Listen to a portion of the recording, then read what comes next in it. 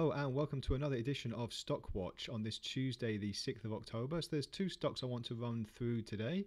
One of them is Johnson & Johnson. Uh, recent news reports state that the company will have to pay more than $100 million to settle more than 1,000 lawsuits over claims its baby powder caused medical problems. The settlement is the first in four years of legal action and nearly 20,000 lawsuits have been filed that allege the company's baby powder products had asbestos contamination. So in 2019, the company recalled 33,000 bottles of its baby powder products out of an abundance of caution after trace amounts of asbestos were found. However, despite the adversity, the drug manufacturer's stock is still up around 45% over the past five years, so not really negatively having much impact there. The other company I want to look at is Bank of America. As reports show, it has completed seven investments in minority depository institutions and community development financial institutions on Monday, part of the bank's $1 billion four year commitment to advance racial equality and economic opportunity in the US.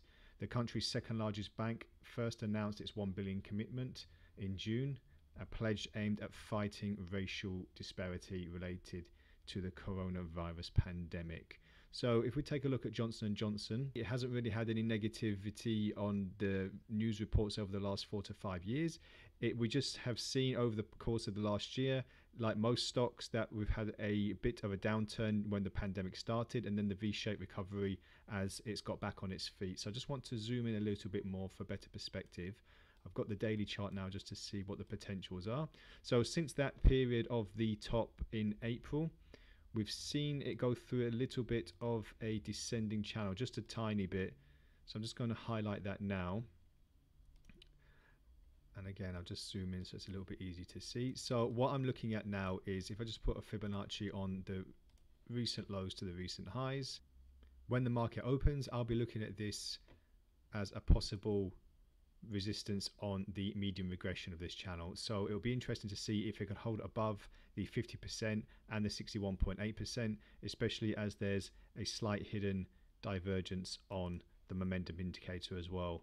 So I'll be seeing if it's going to start pushing towards the medium regression. If we can break this, then there's no reason why we can't go into new highs of $154 However, if it can't, it'll be interesting to see if we can bounce it off this line because currently the prices are trading inside the Ichimoku cloud and between the conversion and baseline of the indicator as well. So as we go into the next trading session, it'll be interesting to see if we can open with a high note or if it starts to collapse and move slightly down like we have seen in the past few days, then we might see more downside to the lower channel area.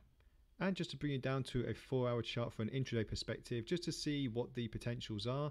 As I said on the daily chart, once the market opens, it'll be interesting to see if we can get above the medium regression and actually engulf the prices into the cloud. If this can happen, then there's no reason why it can't reach the top of the cloud, about the $150 psychological range, and then keep pushing upwards to the recent highs that we've seen just above $154. On the other side of that, if it opens with a gap on the way down. I fully expect it probably to break the $146 range and then move lower to recent lows around the $144.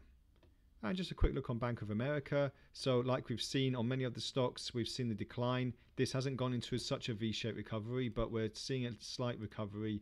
And I noticed um, a few weeks ago that there, it was forming a bit of a channel and now we've broken down of the channel what the prices need to do if I just zoom in a little bit more for a clearer perspective what prices need to do now is start pushing towards the lower channel line of the ascending channel sorry and then start pushing to the medium regression. So once the market opens the bias is on the upside because now we're trading in between the conversion and baselines and we're going to push up hopefully to the lower part of the cloud. Once the prices are engulfed, then we can see more potential for the upside.